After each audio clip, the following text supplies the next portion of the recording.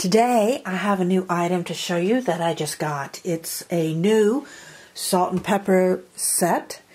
Uh, it's by the company Seatore and let's go ahead and open it up right now.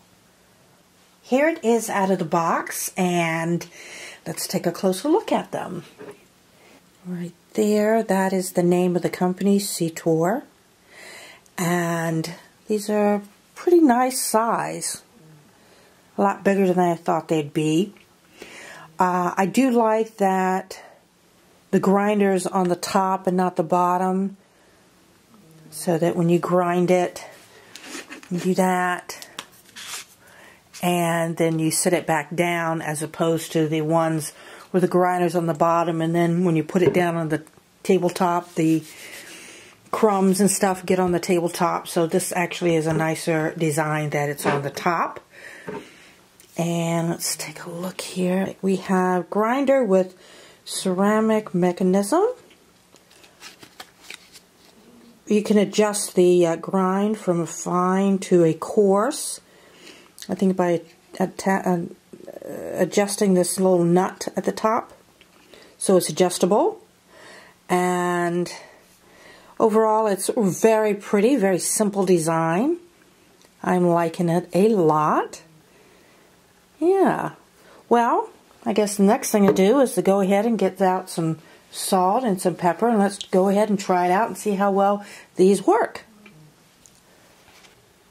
I went ahead and I put in some salt and some pepper and each one has a top so when it's not in use keeps uh, any kind of dust and stuff out of it. On the top I did notice here that there is an adjustment. Have the arrow with the small dot, that's a finer grind, and if you turn it towards the large dot, then that's like a, a coarser or less fine grind. And see, it's very easy to turn, so that's nice. Very attractive. See how pretty that is? Very nice. Love it. Here's the pepper one. Yes. Very, very pretty. So we're going to try it out. Have, let's see, here we go. Try this out on,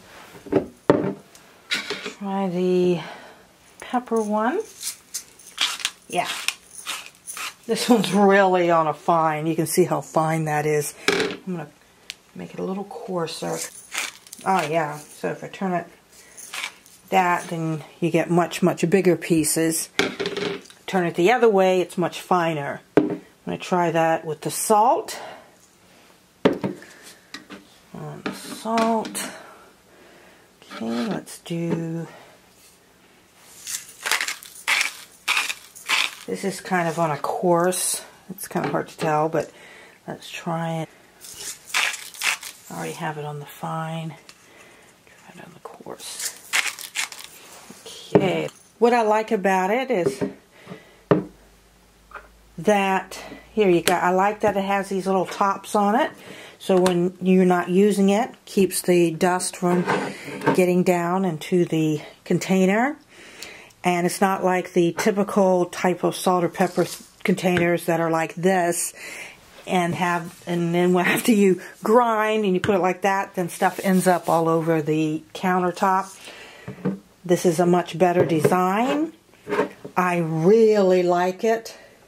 And as you can see, it's a nice, generous size, nice big size, because sometimes I find that some of these salt and pepper grinders are too small and you're constantly having to fill them up, but this is just enough size that it's not too big and it's definitely not too small. So I really like it and I'm very glad that I got it. Uh, I definitely recommend it because I think it's uh, a decent set and the price is right. Uh, I'll put the link below the video. So that concludes my unboxing and review of the Seatore Salt and Pepper Grinder Set. Thanks for watching. I'll see you next time. Bye.